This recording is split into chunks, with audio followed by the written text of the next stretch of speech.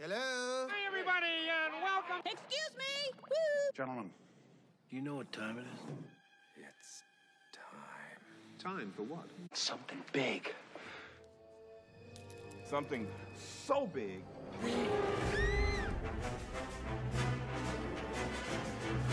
coming! It's coming right for us!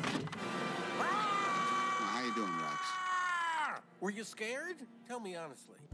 Do you want to know what it is? At the movies. What? At the movies. What's that? Very good movies. Movies? I haven't been to the movies in ages. Mm-mm. This is for church. At the movies. Church. Movies. The Church. A movie. A church meeting. Movies. Inconceivable. We're a match made in heaven. Let's all go to the movie.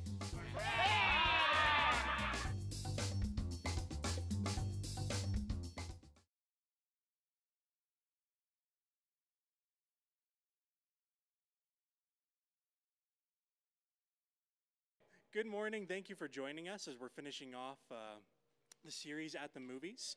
Uh, I know Pastor Derek said it, it was in the trailer, but if you didn't know, we're going to go through the movie Unbroken today. Now, if you guys have ever heard me uh, uh, talk before, uh, you'll know that I say there is a Simpsons episode for anything you're going to talk about. So you won't believe how hard it was not to pick the Simpsons movie. I mean, uh, you know, there, there's there's some lessons in there. They're not uh, not good or biblical usually, but they're, they're there, right? so you can figure something out. Anyway, Shelby told me no, so we're here. We're here. now.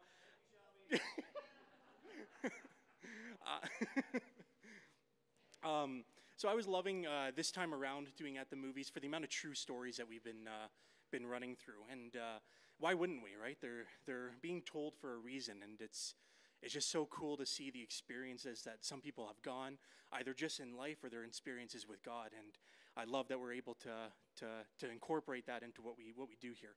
Uh, but before I get any further, uh, we do have a tradition that we usually do with at the movies, and that we uh, we have a copy of it with something else. Uh, so, whoever has not seen this movie, could you please raise your hand? That's really good to see because I can say whatever I want now about the movie. okay, it was in the trailer just as a hint, but first person of who has not seen the movie, if you can tell me who directed this movie. Yeah.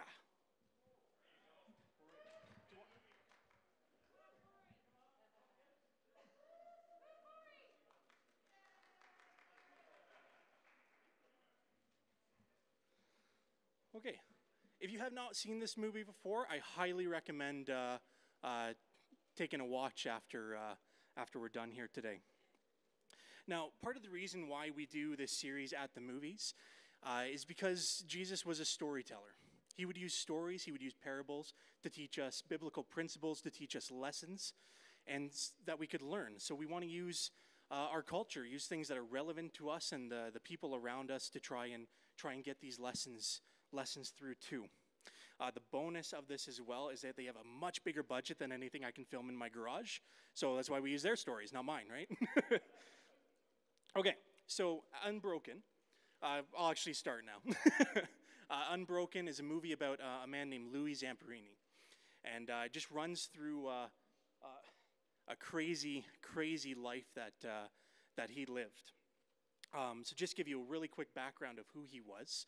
Um, what we see from him as a little child is that he was the biggest brat you'll ever meet. That he was he was drinking and smoking at age 10, and uh, would be caught stealing. Was frequently brought home to uh, uh, to his parents by the police to the point that every police officer knew he who he was, and he, they knew who his parents were.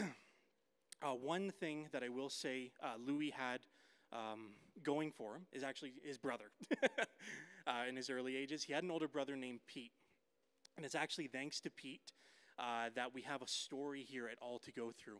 So I'm going to have the first clip thrown up there just to, to see the impact that, that he had on his life if you want to watch this.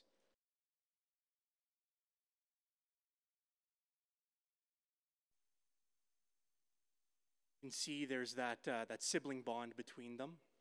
And uh, Pete knew that his brother was a handful. Uh, he knew that he was getting in trouble all the time, and uh, it's actually sad to see. But you can you can see so many interviews from uh, Louis himself, and say that part of the uh, issue for him growing up is uh, although they were born and uh, raised in the U.S., uh, they was an Italian uh, immigrated family, and that's all he spoke as a as a in his early years. So it just kind of separated him from from kids, and sometimes uh, it's hard to hard to get back. So sometimes you need someone to pull you, and that for Louis, that that person was Pete. Pete was the one that kind of pulled him back into reality and, and just gave him that hard lesson early on that if you go the way you're going, that, that you're going to be a bum, you know, or, or you can, you can, you can uh, push, you can keep pushing to become stronger. And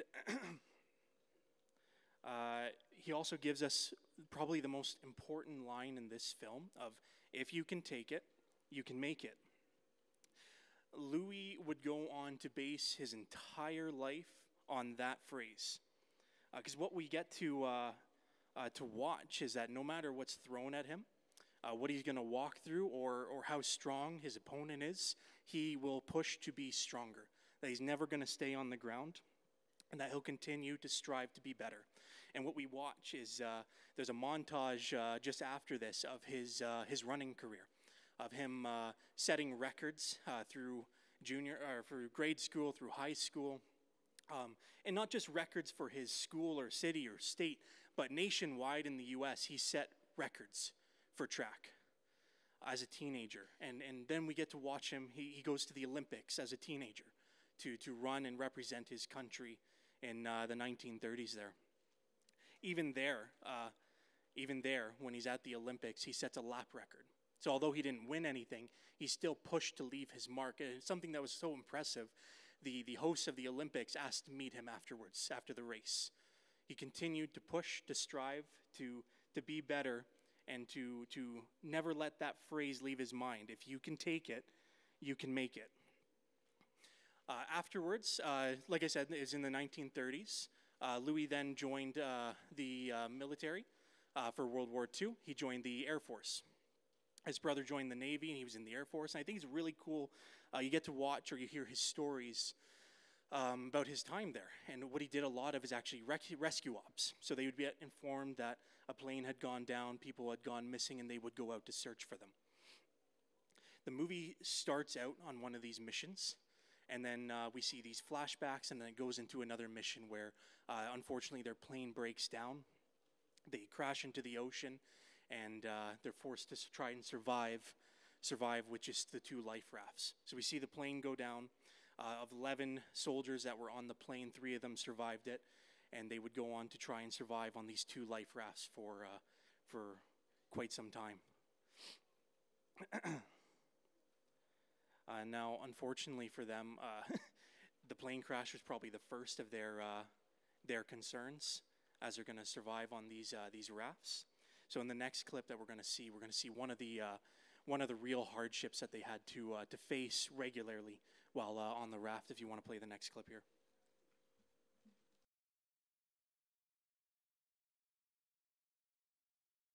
So the image there is just uh, the three of them on the the raft there. Uh, storms were just one of the things that they would have to face uh, over their time on the raft. the list is actually unreal.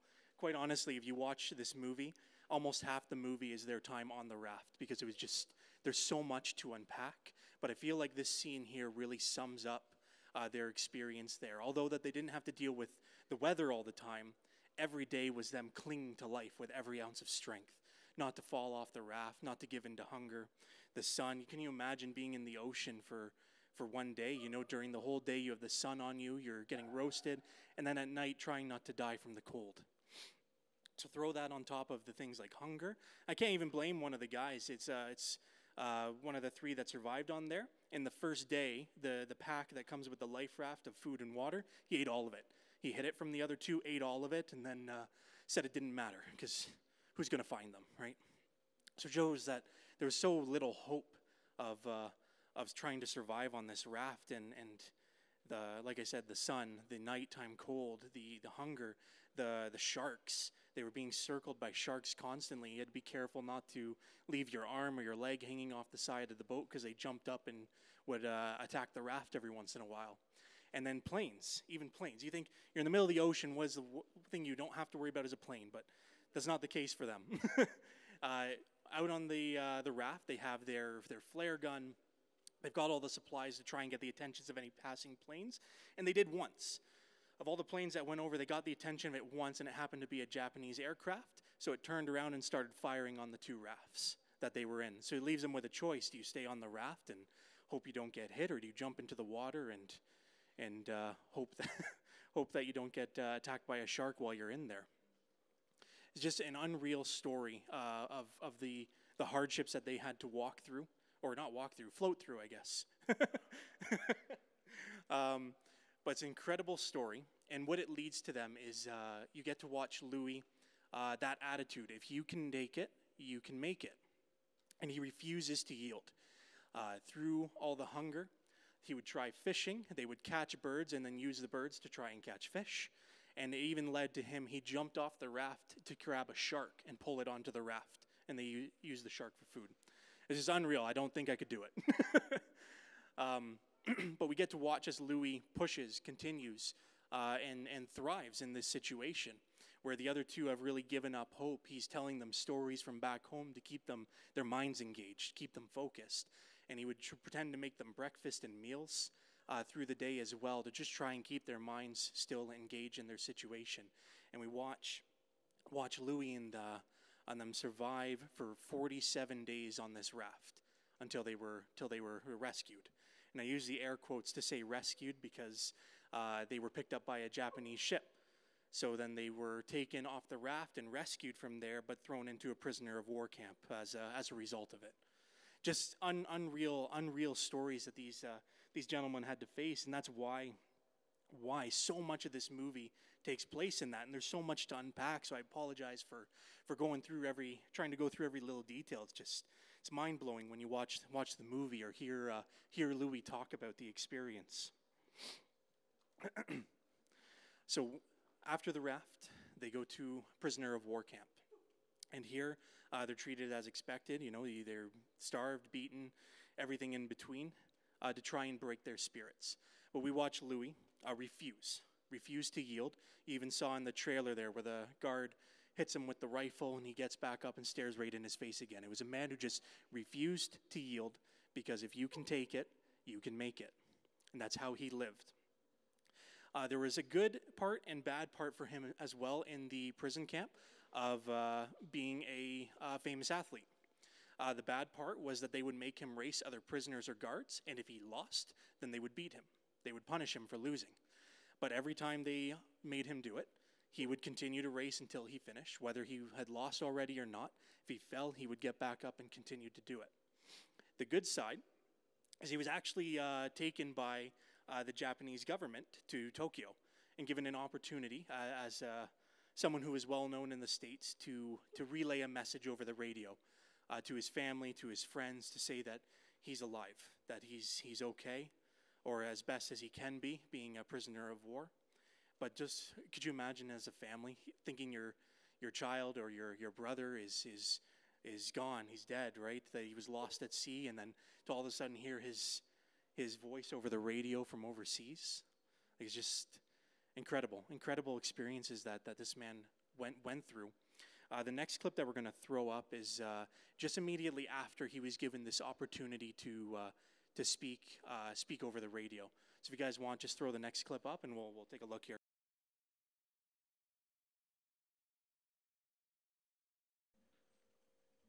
If you can take it, you can make it, is how he lived his life. I want to break out the, the first part of the, the scene where he's at the restaurant there, just, just to clarify what was going on. So, Louis was given the opportunity to speak that radio broadcast to his family, to his friends, uh, to let them know that he was alive and, and, and still here. Uh, afterwards, when he's at the restaurant, the two men sit down and, and hand him a sheet full of propaganda that's anti American, uh, pro pro Japan, pro uh, Germany. So, this uh, sheet he was given, he said he can't read it. He knew it was wrong. He knew it would it'd label him as a traitor for his country. So the men tried to show the other guys who were in the back there, the three that were sitting at the other table that they zoomed in on, those were three American soldiers as well who had agreed to, to this deal. Now, for a lot of people, I'm like, why wouldn't you take the easy way out? He was given an opportunity that if he was to read this propaganda, he could uh, have money, have home, be able to live freely in Tokyo, and not have to be a prisoner anymore. Not a, a, a prisoner. You wouldn't have to be in the in the prison camp anymore. But Louis chose to go back to the prison. Why? Uh, this moment in the film, uh, there's one one thing that popped out to both Shelby and I as we were watching through is actually the story of David.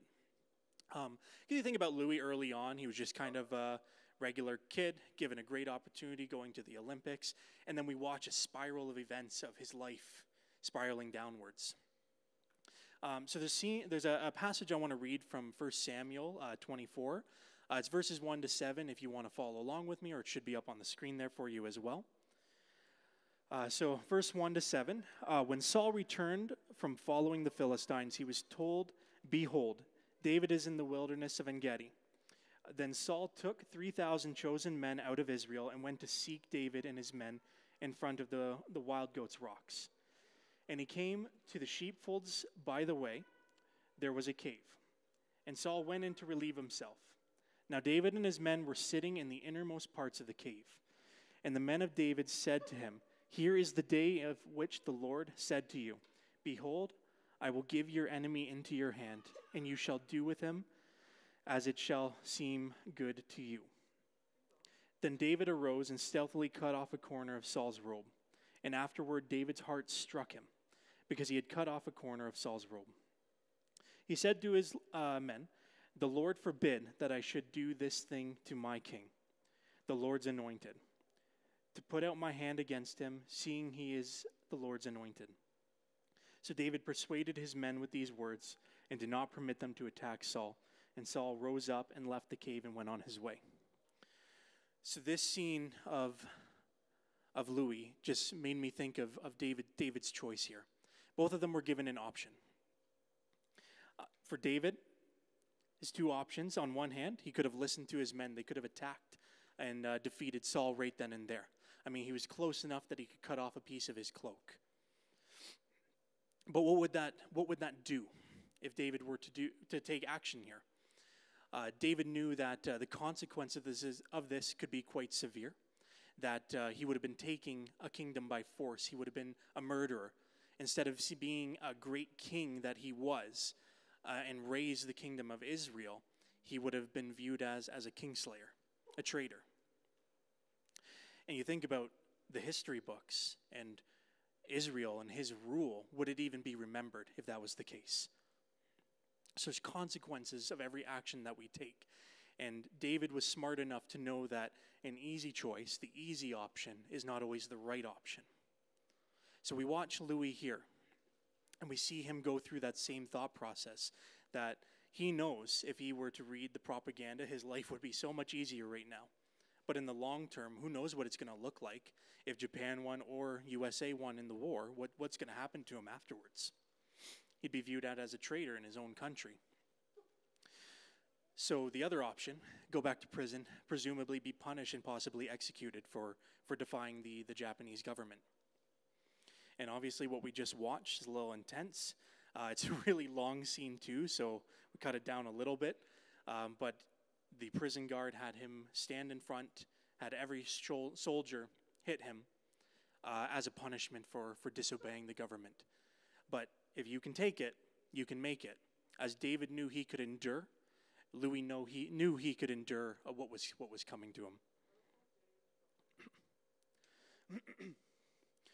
the next scene that we're going to throw up there is uh, the final, I, will call it a standoff that Louis has with this particular prison guard.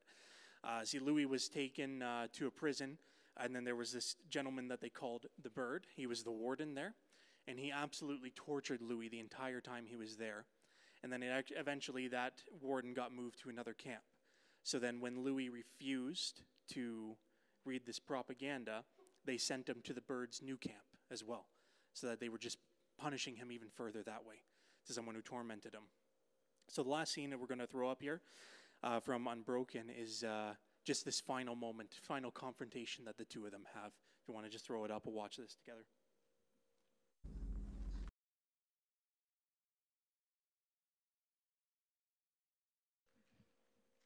Very quickly, uh, what was going on there is uh, they're working uh, unloading coal off a ship, and Louis was taking a break. So the prison guard brought him over, gave him that uh, that piece of lumber, and the second he dropped it from holding it over his head, the guards were ordered to shoot him.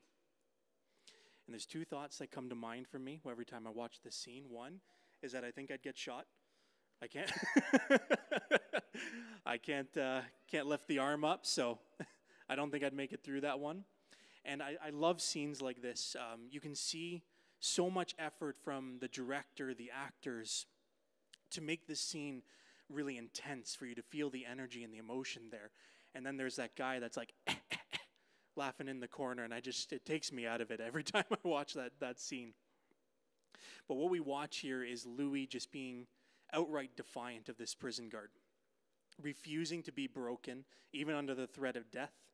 The man refused to be broken, and I love the little shots of uh, where it switches to him running, and that he's not he's not finished. Louis not finished, even though he's on the ground. He's being being uh, uh, punished for for defying this prison guard. He's not done, because in Louis's mind, if you can take it, you can make it, and that's what this movie shows us, right? That under our strength, we can do anything. And that's the message this movie tries to get across. And as I'm walking through, I'm like, it just doesn't feel quite right. It doesn't feel quite right. And I'm like, there's something missing.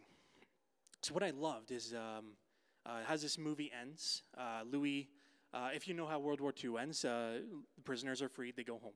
Uh, so he's allowed to go home, and the movie ends as he's greeting his family. Uh, I didn't know this until I started actually researching this movie, but there's actually a second one that they did called Unbroken Path to Redemption. And this is about Louis' life afterwards. A man who is uh, pushed so hard to, uh, to live as if you can take it, you can make it, that under his own strength, he would not be beaten. He was not going to be, uh, he was not going to stay on the ground. Uh, in the second film, uh, it's actually done by Pure Flix, so it's a different actor, different director, as uh, a couple of scenes are going to get thrown up there, just so you guys are aware. But what we watch is the aftermath of coming home from, from war, from this prison. And we watch uh, as Louis uh, tries to get back into a normal life where uh, he has nightmares every night of the raft, of the prison, of this guard tormenting him. And he begins to, to cope, uh, cope with alcohol. So he gets drunk, so he doesn't remember, but can't sleep because of the nightmares. So uh, as he comes home, the military uh, grabs him, the U.S. government grabs him, and he starts doing uh, tours around to talk about his experience being uh, uh, left at sea, uh, the prison camp, and, and then returning home. Because he's viewed as, as a hero by his, his family, his community, and the country as a whole. So he does these tours to help recoup costs from, from, from the war. but his depression and addiction gets so bad that even his supervisor just tells him like you need a breather. So they send him away to take a paid leave uh, to to recover to rest and recover. Uh, while he's here it's actually really cool. You get to see uh, him uh, meet his wife or who would be his wife and uh, them get married and you see louis start to pull out of this pull out of this funk. Um, but you know after the war it was hard for them to uh, to find work hard them, for them to find uh, for anything to do, uh, especially with the trauma that they faced. So Louis was uh, starting to sink back down into a bit of a depression where he couldn't find work, couldn't find uh, a way to support his family. The only uh, the only money that he had was actually from being declared dead uh, by the U.S. government that they had given them a lump sum of money. Uh, as he seems like he has no more options, he decides that he's going to train to go to the next Olympics. So, as an overage athlete, uh, it's his last ditch effort to try and try and show that he's still strong. He still has strength. Um, and it's actually quite cool to watch. He's actually well on his way to uh, to the Olympics. He has uh, he's able to run the qualifying time to make it. Uh, and then when he uh, has a bet with his family, he uh, decides to run around a track And then uh, if you want to throw on the next clip here, this is the aftermath of him doing one more run here.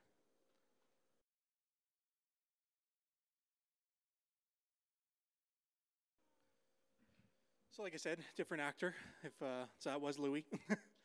um, one thing that really sticks out. There's, this is a really important scene uh, for both the films uh, in Louis' life. I, I, know we lean so heavy into his story because there's so much to unpack and so much that he experienced, but this is quite a tipping point for him.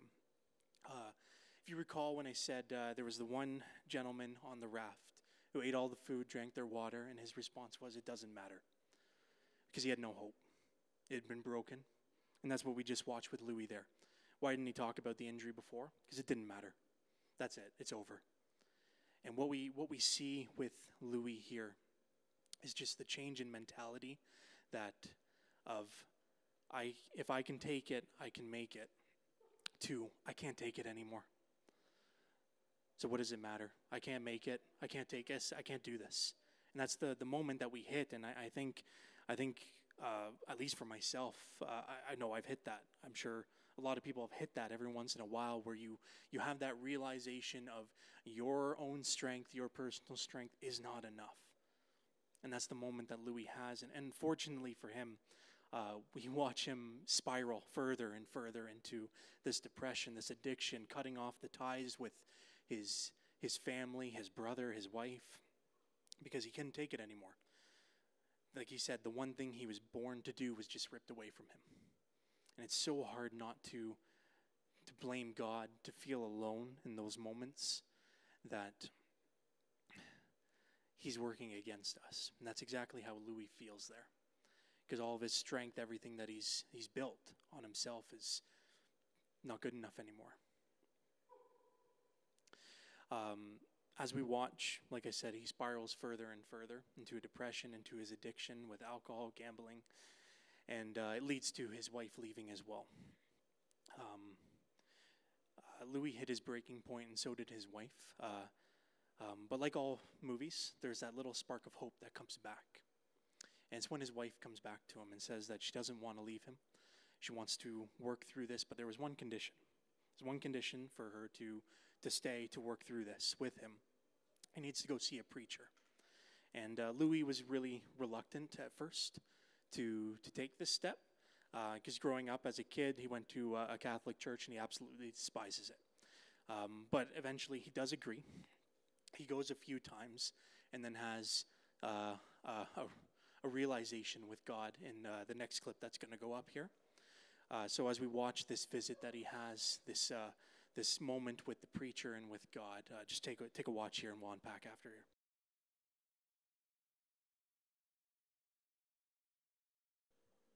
Just one fact I thought was really cool is uh, the preacher that his wife had him go see was actually Billy Graham uh, when he was doing his uh, his crusades, and uh, I think it's significant. One, it's cool. It's Billy Graham, you know, um, but one, I think it's significant because uh, we hear Louis multiple times in this uh, this second film, The Path to Redemption, of him despise the church, despise what he grew up grew up in.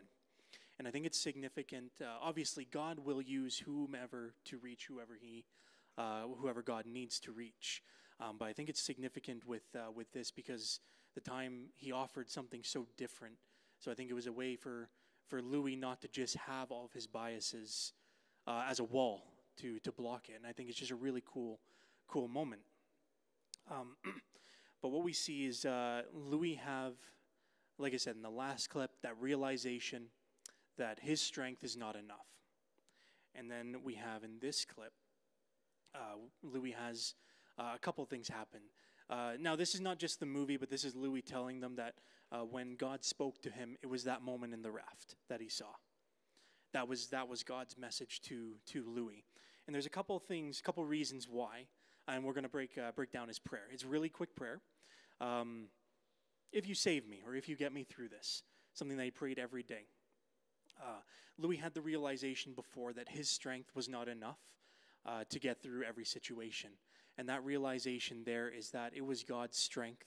God was answering his prayer every day. I mean, you think about everything that he went through from the raft the hunger, the sun, the cold, the sharks, the plane shooting at them, the war itself, and then the prison afterwards, for him to still be alive is a miracle in its own. And it was a realization that at no point did God leave him. He prayed every morning for God to get him through each day. If you save me, if you get me to the next day. And that's what God did. The second half of the prayer, I will serve you for the rest of my life. Uh, Louis, uh, he has some really cool interviews that he's done as well, and this is one of the moments he talks about as well. And he said it was a moment of guilt and shame that he felt, and that he had prayed every day for God, get me through this, and I will serve you for the rest of my life. And then when he got home, eh, forget it. There's just no no follow up to it, right? Something that he prayed every day and committed every day to doing, and then as soon as it wasn't hard anymore, he didn't care anymore. So there was that, that gut check for Louis as well. So he said these these moments um, moments uh, sorry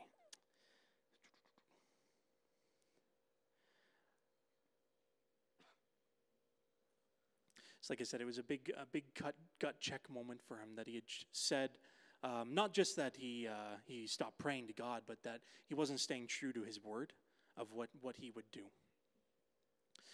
So, what Louis realizes one, his strength was not enough, and then two, that God's strength is.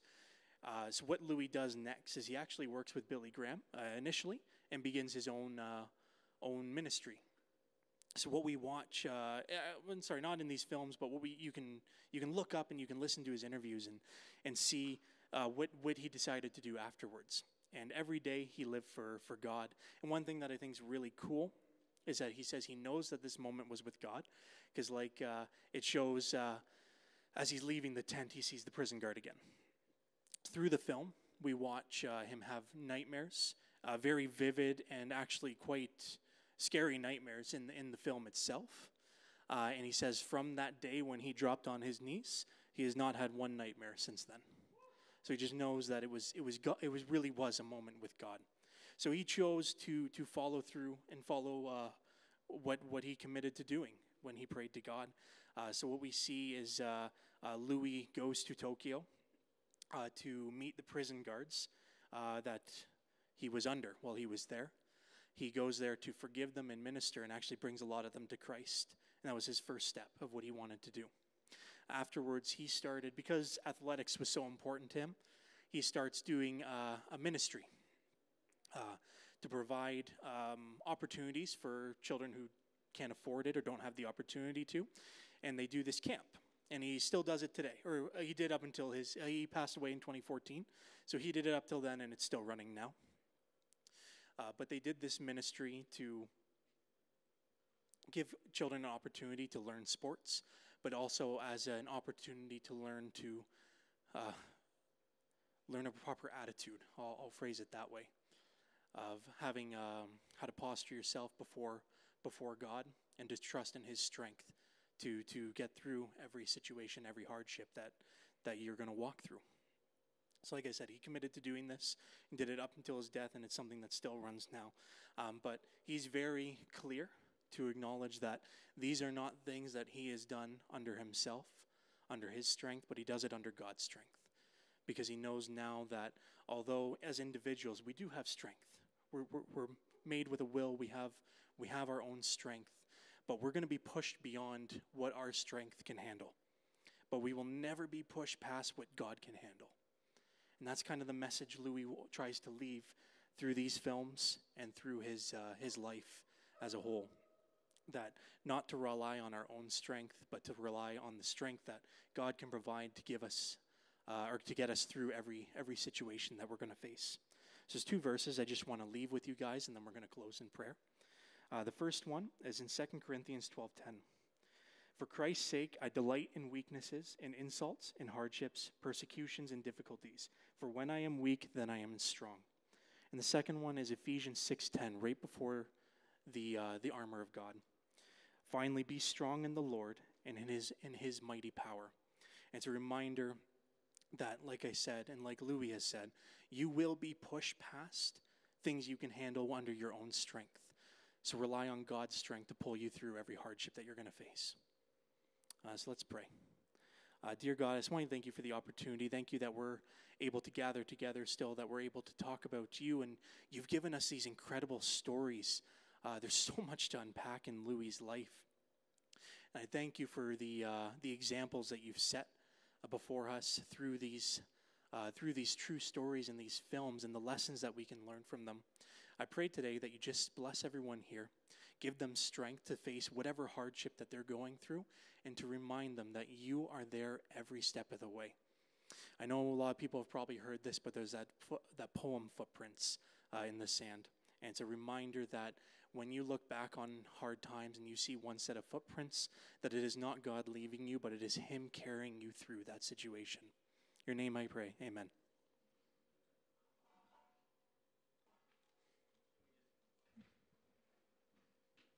Can we can we just give Pastor Jeremy a hand for this morning? And I, I know that we uh, we have a baby dedication this morning, but I just don't want to lose the moment here. It's like William Graham, who was playing Billy Graham, ironically, in that film, said, "You can leave when I'm preaching, but not right now. Just just not right now." Um,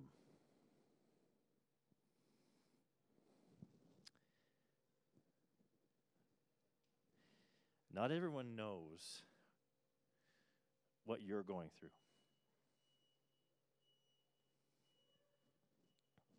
Maybe not even your spouse. Maybe not your children, your best friend. Some of them do. And, I- and I, I obviously encourage that we link arms with other people. But I will tell you right here and right now God always knows. God always knows. And this morning, to acknowledge that.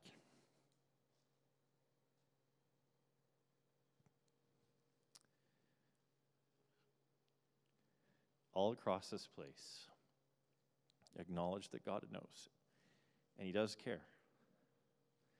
Even when things don't seem to be going in the way that you had hoped they would be. God knows. God cares. And as much as God cares about all of your surrounding situations, He cares about you more than anything else. So if I can speak truth and life into you right now, God knows. You can't hide it from Him.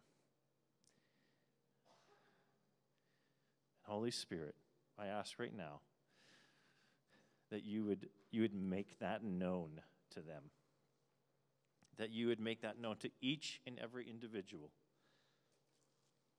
And that strength may come from many sources, but the greatest strength that you can have is God's. And if you're here this morning and you do not know God, you won't understand that statement. But I hope that you would take the opportunity to change that. And so, Lord, I ask right now that you would just dig deep into someone's heart that needs to hear this. Maybe someone listening online. That you care, that you know exactly what they're going through. And God, you care.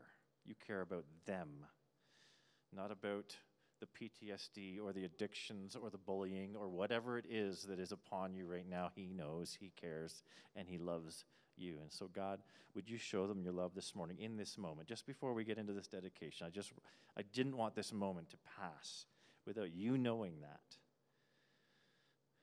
And God, if there's someone here that's like Louis, just in a place where they recognize the next step is to surrender to you, I want to give that opportunity right here, right now. So every head bowed, every heart open. If that's you, raise a hand. Just let me know and I'll pray with you. I'll pray with you right here, right now. And if someone online, maybe you can't raise a hand that I can see, but God sees it. So don't lose the opportunity. And so we pray, dear Heavenly Father, thank you for knowing me. Thank you for knowing me, for caring for me, for loving me, and not giving up on me, even when I've given up on myself. God, you be glorified in this moment. And all those that in their hearts are saying yes to Jesus, I say yes right now to, to look away from my sin and look towards the cross that saves. And in this moment call myself a child of God because it has been declared by the cross that everyone that confesses the name of Jesus and believes in their heart will be saved. And so, God, we just we thank you for this opportunity to reach out to you and recognize that our own strength is not enough, but yours is. And we thank you in the name of Jesus. Amen. Hey, I'm Pastor Derek. And I'm Pastor Shonda. And thank you for joining us here at Advance Church Online. It's our hope as a church to help you deepen your relationship with Christ and strengthen your faith. And we would love to connect with you. And there's a number of ways that you can do that. You can email us, you can text us, or you can comment below. And of course, you can always visit our website to get more information about us. Thanks for joining us. See you next week.